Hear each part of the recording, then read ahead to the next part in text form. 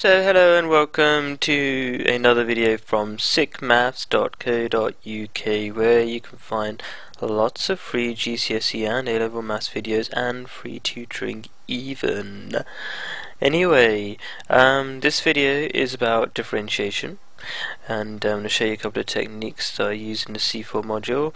Um, we're going to differentiate this first example implicitly, which is really simple. You differentiate that normally, so x squared becomes 2x, and you almost differentiate that normally. You just bec that becomes 3y squared, and you just basically anything with a y in it just becomes just to get dy by dx next to it okay because we're differentiating with respect to x which means um, you differentiate that normally but this one this is not x so you do that to it. So you differentiate normally so 3 goes to the front, go 1 power down, becomes 3y squared, just stick a dy by dx next to it. Differentiate 2 becomes 0, and the whole point of this is to actually work out what dy by dx is, so you just rearrange, take that 2x to the other side, you get 3y squared dy dx equals minus 2x, and then take the 3y squared underneath, and you get minus 2x over 3y squared is equal to dy by dx, and that's done. Let's show you a harder example. Um, what are we going to do? We're going to differentiate this. This is the product of two things, 4x and y squared. So, uh, you know, this differentiating implicitly is really like normal differentiation really. Um, so you got your product 4x and y squared, which means you have to use a product rule, which means you do it like this. Uh, you do 4x times the differential of y squared plus the differential of 4x times y squared, which we've got here. 4x times the differential of y squared is 2y, because you bring the 2 forwards, you know, just like you normally do. And just whenever you differentiate the y, you stick a dy by dx next to it. So, so far we've got 4x times 2y dy dx, plus um, the differential of 4x, that's 4, times y squared which is just 4y squared. So all this stuff here is basically differentiating this bit, and then y differentiated by with respect to x means you just do well y just becomes 1 yeah? Um, so just like if I differentiated x it become 1 wouldn't it? Yeah so y becomes 1 but because it's y I have to stick a dy by dx next to it. So it becomes 1 dy dx which is just dy dx okay um, and then this stuff on this side becomes 4y cubed when you differentiate it. And again I have to stick a dy by dx next to it because it's a y. Okay the x gets away with it, it doesn't need a dy by dx next to it but whenever you differentiate a y you stick a dy by dx next to it. Anyway so how do I make dy by dx the subject of the formula? Because that's what we want again. We want to work out what dy by dx is. Um, so altogether I've got uh, 8xy dy dx here and another dy dx there so 8xy plus 1 dy dx there and 4y cubed dy dx on this side. So if I rearrange it and bring all the dy by dx stuff on this side um, and then factorize it I get and I move, of course, this 4y squared, which has got no dy dx on it, move it on the other side, so it becomes minus 4y squared. Okay, what I get is I got 8xy dy dx, and I got a 1 dy dx, and that 4y cubed with its dy dx jumps on the other side becomes minus 4y cubed. Okay, so dy dx times blah blah equals minus 4y cubed, take that all that massive bracket to the other side it becomes a divide because that's dy dx times this so it jumps to the other side becomes divide. And you get that so dy dx equals minus 4y squared over 8xy plus 1 minus 4y cubed um, that's basically what dy dx is equal to. If you want to know exactly what it is at a certain point obviously this is the gradient of a line right? So if you want to know at a specific point on the line what the gradient is, you just have to know both what x and y are, yeah, because this depends on y and x in this case. Right, um, this one, um, really what you just need to know is that the differential of a to the x is a to the x ln a. And what I'm just showing you here really is how to derive that, but really you just need to memorize that. Um, so, how do you derive it? Ln both sides. So you've got ln y equals ln a to the x, but according to log rules, you bring the x over to the front, so you get x ln a.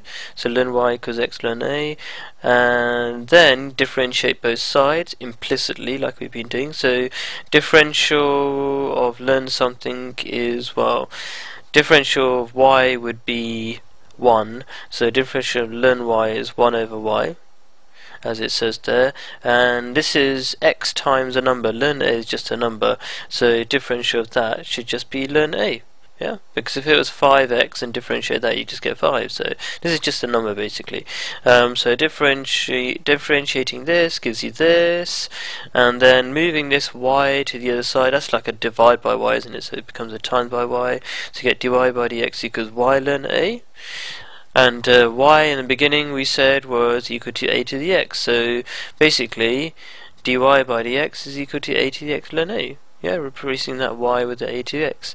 So that's the that's deriving the differential of a to the x, which is that a to the x ln a. Okay, um, of course, what does that mean? A could be any number and x is a power. Yeah, it's not complicated. Right, anyway, um, what's this one about? Oh, this is about related um, differentials. Okay, um, so let's just go through a question. If you've got a sphere, it's got volume V, capital V there, big V, surface area S. Okay, and um, so we're just saying that V stands for volume and S stands for surface area, okay, uh, for this sphere. And dV by dt is, e is equal to 6, find ds by dt when r is equal to 3. So what we know we're normally actually told the formula for the volume or something of these shapes unless it's something like a cube something really obvious then you should just figure it out yourself yeah what you're supposed to do is take the object and um, um, create any differential equations you can. So with this, I got the the volume of a sphere is four thirds pi r cubed. So if I do dv by dr, because r is your variable, um, 4 thirds pi is just a number isn't it? V is your variable so you can do dv by dr which just becomes bring the 3 to the front and the power goes down to 2 so it becomes 3 times 4 thirds pi r squared 3 times 4 thirds is just 4 so you just get 4 pi r squared okay? And uh, in a similar way the surface area of a uh, sphere is 4 pi r squared differentiating that the 2 comes to the front becomes 8 pi r, and that's it. Um, so ds by dr is 8 pi r. Remember r is a variable, s is a variable. Okay, so now we've got two things. We've got dv by dr is 4 pi r squared, you've got ds by dr is 8 pi r, and we you know that dv by dt equals 6, and the thing we want to know is what ds by dt is. So let's try to figure that out. Now, in this question, you just need to treat uh, these differentials as fractions, okay, and fractions cancel out. So ds by dt is what we want, um, and what do we basically have that has an s on the top um, and a t in the bottom. So, well, we've got a ds by, no, where have we got? We've got a ds by dr, okay, or even if we didn't have s on the top, we can easily make it on the top, or I'll show you how that that'll work in a sec. So we've got ds by dr, okay, that's a starting point. And we want something with a t on the bottom. So what could have a t on the bottom? Oh, we were given dv by dt equals 6. So I'll write dv by dt on the bottom over there. Right. Now, the problem with that is I've got an unwanted dr on the bottom here and an unwanted dv on the top there.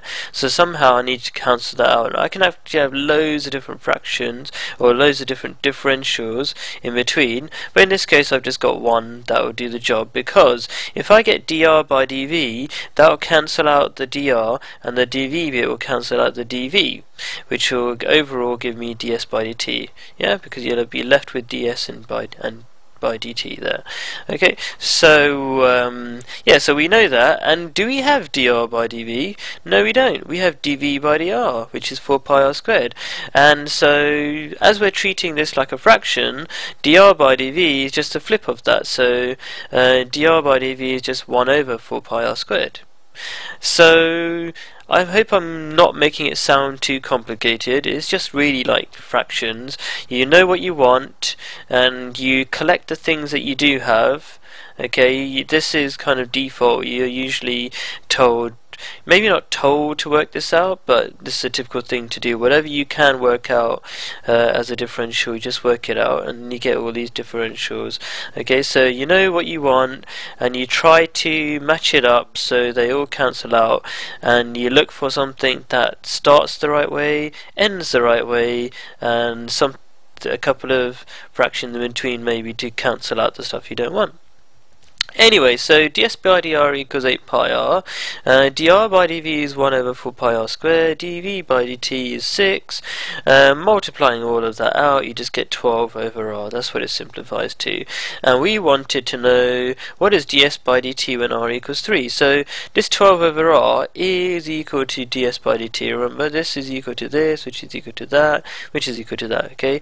Now when r is equal to 3, that becomes 12 over 3 which is 4 ds by dt equals 4 and that's it really that is that is a very typical question now, all these four examples are explaining different ways of creating differential equations or whatever. Um, so S increases at a rate proportional to S. Okay, that's a very typical thing to say. So when you say at a rate, that means with respect to t, i.e. ds by dt. Okay, proportional means k. Uh, proportion to s means ks. Okay. Now, if you're not sure about, you know, this proportional business, okay, just go to my GCSE video on sickmafs.com co.uk and uh, look for direct and inverse proportion and you'll really understand this properly. So direct proportion goes like this, ks and inverse proportion goes k over the variable. Okay, so where oh we jumped to this one, okay let's jump to this one. v increases at a rate inversely proportional to v, well at a rate or you know at time t or whatever they say after this is the basic stuff they say yeah? But sometimes they add a few more words. But if you've got something going at a rate that means with respect to t or a dt should be there. So v increases at a rate. Okay you just write dv by dt immediately. Inversely proportional means k over the thing which is v in this case. So dv by dt equals k over v what's this one say? R decreases okay? So there's increasing increasing increasing but this one is inverse and this is direct proportion. Now this is saying decreases at a constant rate of 8 okay? So we don't even have it's not proportional to anything it's just 8 okay? Except for it's decreasing so you write minus yeah? So dr by dt equals minus 8 and finally, just to make it nice and complicated, we've got this example. V increases at a rate, so dV by dt increases at a rate proportional, so k times something, uh, to the difference between the area and the radius. So area minus radius is the difference between them, and it's proportional to that, and blah blah, and that's it really. Now this thing continues into the integration video. Um, but this is getting too for this video so I stuck it in the integration video because you can turn this stuff into integration. You'll see that in next